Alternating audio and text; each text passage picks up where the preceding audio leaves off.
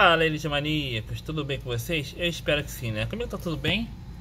E a máquina de hoje eu nunca mexi na vida, tá? É um RC420. Eu não me lembro de mexer numa máquina dessa. Aí tá com ela quebrar, mas o defeito não é assim não, tá? O defeito ela tá em curto. É um Samsung, né? E vamos ver o que vocês conseguem reparar essa máquina. Tá em curto, parece ser fácil, né? Mas se for igual ao outro Samsung que eu peguei no vídeo anterior, né? Que foi tenso, hein? Foi tenso.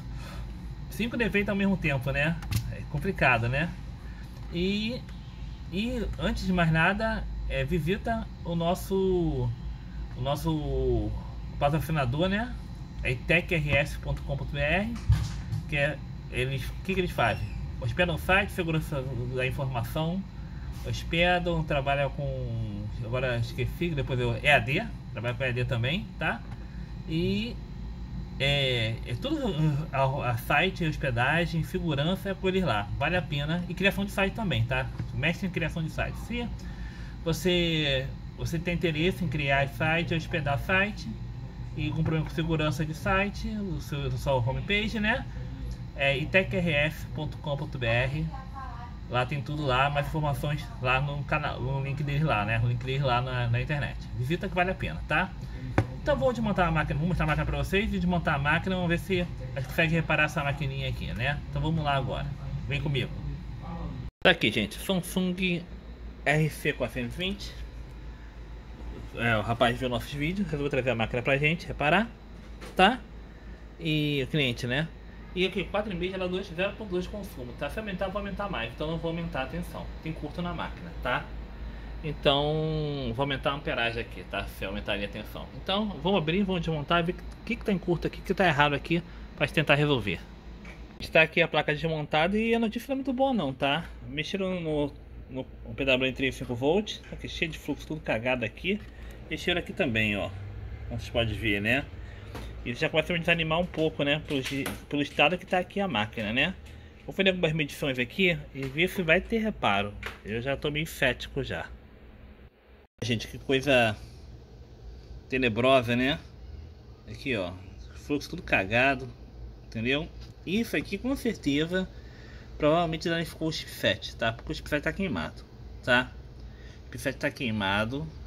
Vou mostrar aqui pra vocês, ó. Aqui, ó. Só me botar aqui, ó. Vou mostrar aqui pra vocês, ó. E vamos lá. Essa bobina aqui, ó é de 3 volts, tá? Olha quanto tá dando aqui no multímetro. Vou virar o multímetro lá, fica mais fácil para vocês verem, tá?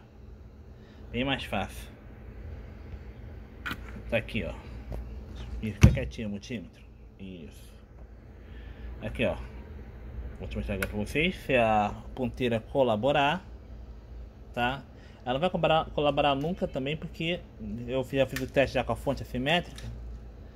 E o terra não tá ligado no multímetro, né? Aí fica difícil as coisas dar, dar certa, né? Vamos lá, tá aqui, ó. Vou mostrar aqui pra vocês agora.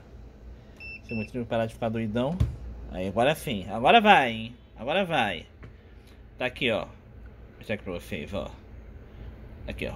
É 3 volts essa bobina, tá? Tá dando zero. E quem esquenta aqui? Quem esquenta? Esse camarada aqui, ó.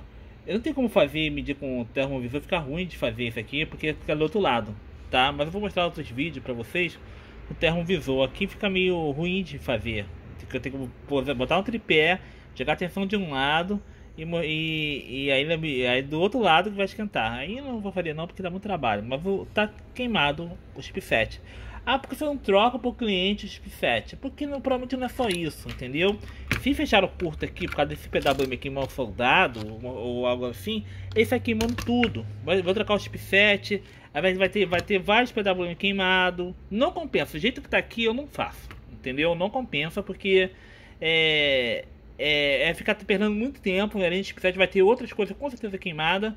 Não vai compensar, tá? A meu ver, não compensa. Provavelmente esse cara também deve estar queimado também. Tá, mas então esse cara aqui queimado, se a placa tivesse inteira, ninguém tivesse mexido, esse cara tivesse só ele queimado, aí eu trocava o chip. Mas nesse estado que tá aqui, até aqui tá mexido, ó. E essa cagada aqui que tá aqui, eu tô fora, não mexo, tá? Não mexo porque é dor de cabeça quando tá esse cara queimado aqui, tá? Então é isso, gente. É, infelizmente não deu. Sinto, é, peço desculpa ao cliente, mas nessas condições aqui eu não, eu não faço, tá?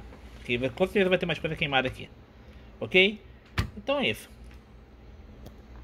Então, gente, é, a gente não tem como fazer milagres, né?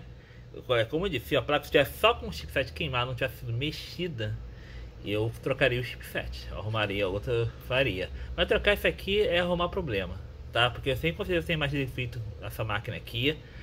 O PWM todo cagado aqui, o fluxo mal soldado, foi ligado, entendeu? Antes, então já era, entendeu? Não tem o que fazer, tá? É PT. Então é isso, gente. Infelizmente, o, cliente está vendo aí, já mostrei e provei que os motivos de não valer a pena, né?